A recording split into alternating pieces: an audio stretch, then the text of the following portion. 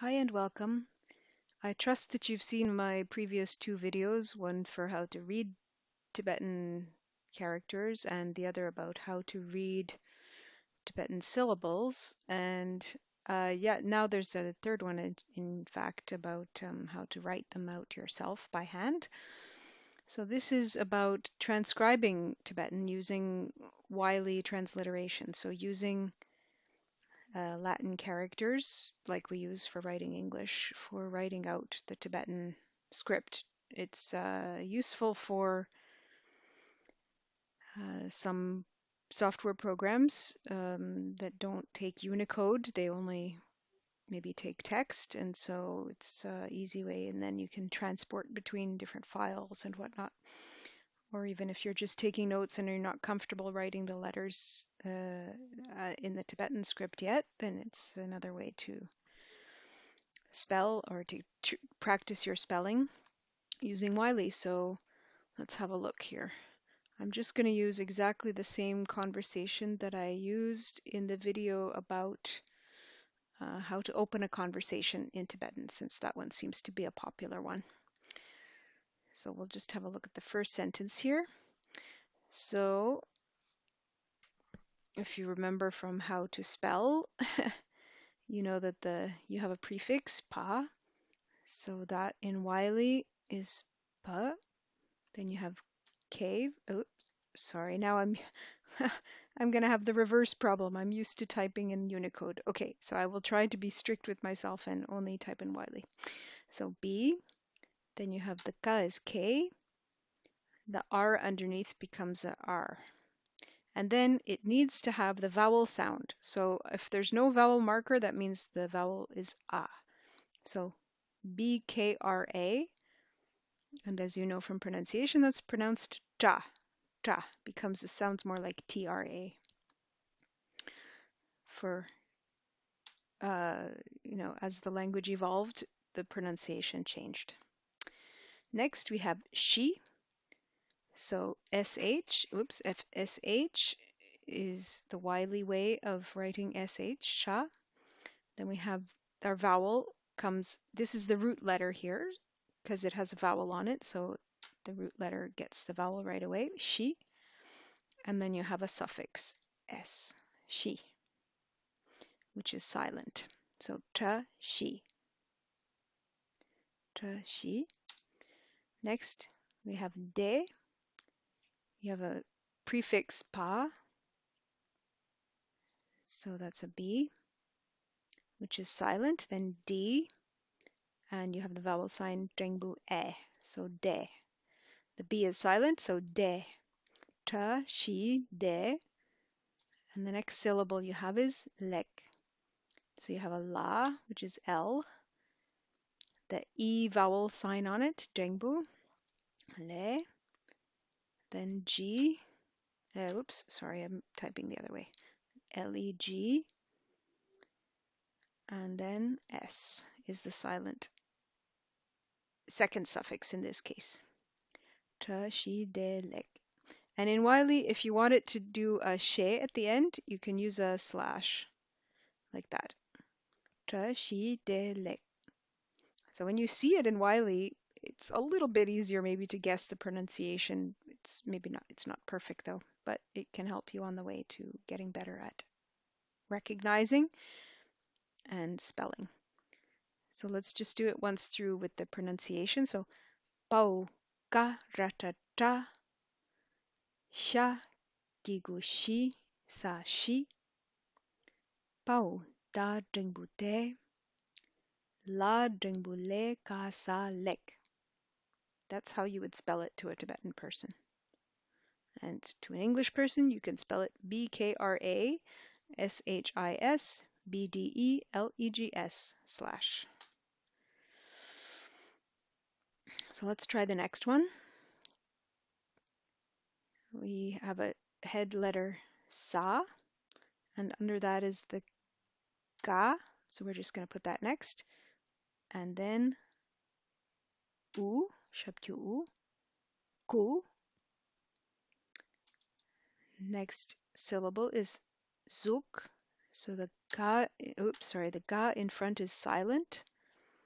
Then you have a, z, a za, shabchu, zu, ga, sa, zuk.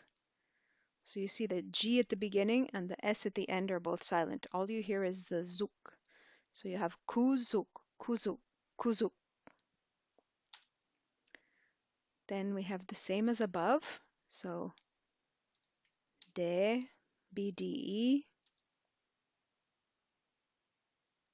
This time we're going to use bo, bo, debo, debo. And then we have ya. Oops, sorry, space before. Ya, gigu, yi. Oops, what happened? Ya, gigu, yi. Na, yin, yin. Ku, zuk, de, bo, yin. And then the last we have is you have the ba and that's the root letter. So we have ba, we put the a sound after it, and then s, which is silent. This is a suffix, silent suffix. Be. Ba becomes be because the s modifies the vowel sound. So kuzuk de bo yimbe. So sa kataka shabjuku Kao. Za shabchu zu ga sa zuk pao ta dengu de. Pa naropo ya gigu yi na yin. Pa sa pe. And we'll put our she at the end. Kuzu debo yimbe This is an exercise you can do with any Tibetan text now, and I encourage you to do it a lot. It's very helpful for getting good spelling habits and getting it into your brain how how it should look. And eventually you'll be able to type it yourself. But this is one step towards that. So again, depo, pao, ta, te space. Ba naro po, so that's po, and then ya gigu yi na yin, de bo yin, de bo yin. And the next one, this one is a ta, whoops, again. So ta in Wylie is th, the shabju is still tu, tu. Then ka, oops, ka, sa, tuk. The s, the second suffix s is silent. Tuk, tuk. The the g is not aggressively pronounced usually. So tuk. Next word we have has a ra on top, rago. So ra then we have a ja, and a drengbu is our vowel sound, so j. So when you have a rago, it doesn't affect the sound, it just makes it voiced. So che, low tone che becomes j with a ra on top. Ra, jata ja, drengbu j. And then we have a cha, oops, Cha in Wylie is CH, cha, and then E, Drengbu E. Togje che, which means thank you. Literally means great compassion. Big, big compassion. Togje che. Just a quick note honorifics. Tug Tug is often used with honorifics to do with the mind. So compassion is uh, mind or heart, I suppose, in this case. So something that you feel or think probably will have a tug in front of it if it's being honorific.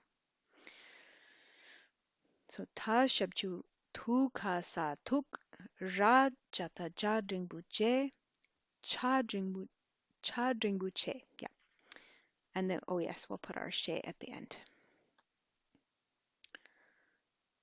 Next, let's practice this one. This one is ka. So in Wylie, that's KH. And then we have a yata underneath it, a Y underneath it. Kya. Ka yata kya. Then a dengbu gives you your vowel sound. Dengbu ke. Ta ke. The, the ke in this case, the D sound is silent. Ke. Then we have ra, and ra is the root letter, so we put the vowel sound after that, ra, ra, and then we have nga, rang, which makes it rang, so it just closes with the nga sound. Ra, nga, rang, rang. And that's another just to note, you never have two vowel sounds in one syllable it's impossible because that would be another vowel sound. So it's one way to know if you're writing it correctly. Now we have debo again. De, oops, bo, yin, be. Be. Again, ba is the root letter, so be. Keran debo yin be. Kayata kya debo ke ta ke, ra nga rang, pa u ta rinbu te, pa naro po, ya yi na yin, pa sa pe. And then to end, we will do the last sentence here. Nga. So in Wylie, that's just nga, and that's a root letter, so you need your vowel, nga, a root letter by itself. Then you have de, oops, de, bo, sorry, bo, yin. Nga debo yin. Nga pao ta dengbu te pa naropo ya gigu yin na yin. Nga debo yin.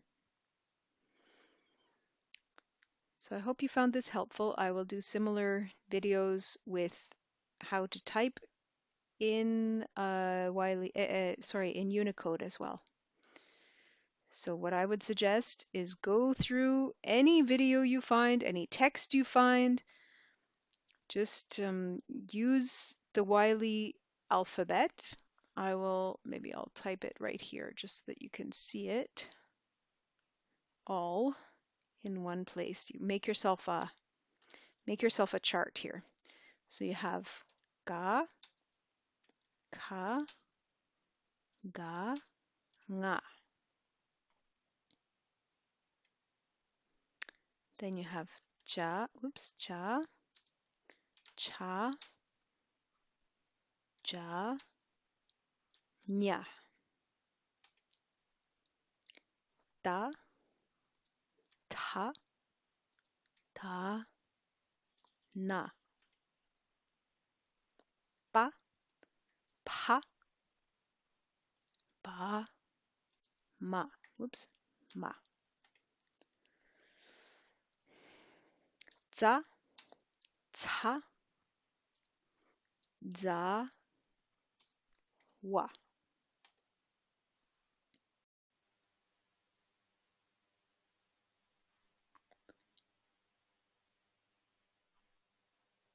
Sha, sa. Ah, you just use the apostrophe and the ya. I suppose you can put apostrophe A if it helps. That might be confusing. Just keep the apostrophe. That's good. Next you have ra, la, sha, sa, and finally ha and ah. So that's your Wylie alphabet. Use it in good health.